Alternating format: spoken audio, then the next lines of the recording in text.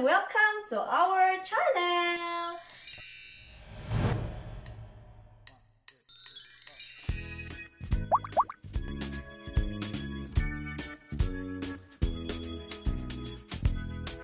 So ngayong gabi, ituturo ko po sa inyo kung paano maglagay ng lights under your hanging cabinets in a very easy way at gamit ang pinakamurang lights. For that, please like and subscribe to my channel.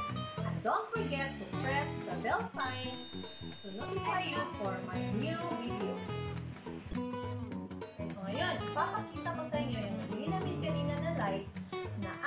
Gagamitin ngayon. Okay, so ito na. Ah, ito yung gagamitin namin, Omni Light. Yan. Okay, yan siya. Omni Light for Life. So, ito siya na light. ah, chargeable light siya. And then, meron siyang 6 hours performance time. And then, 6 hours charging time. Okay, so ito yung gagamitin namin, natin dito sa aming Okay, so ang gagamitin din namin pandikit is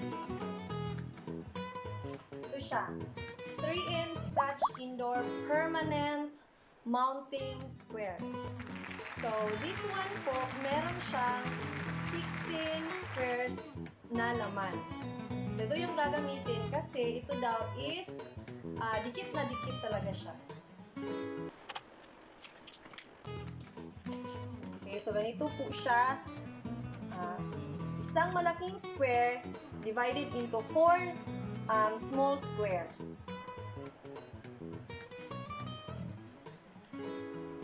So, isang dikit dito.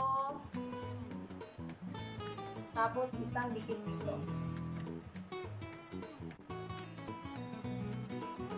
Okay. So, dito yung switch niya sa side. Pag pinindot yan siya, Kayo! Yan. Okay. So, dito yung para sa charger niya. Okay. So, dito ako magsisimula. Wow, Mami! Amazing!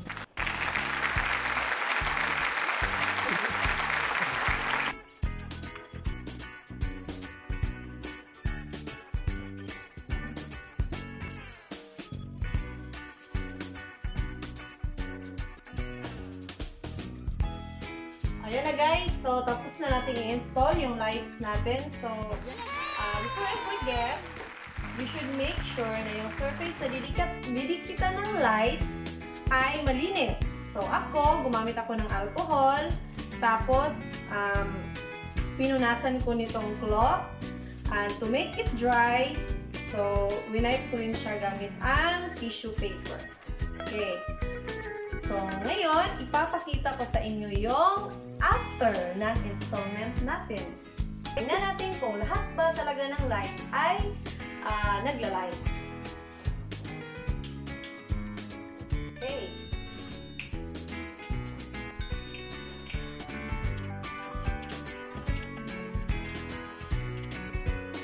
Yay! So, lahat ng lights ay umiilaw talaga.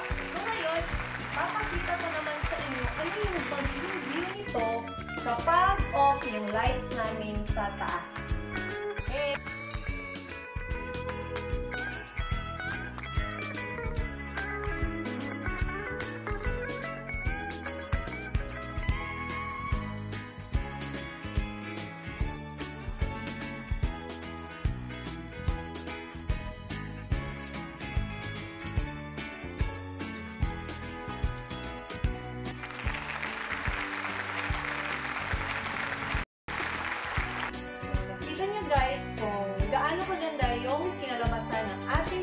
Ginawang do-it-yourself light installation under our kitchen hanging cabinets. I hope ito po ay nakatulong sa inyo kung paano rin pagandahin ang inyong mga small kitchen. So, before that, again, please don't forget to like and subscribe on my channel. Bye!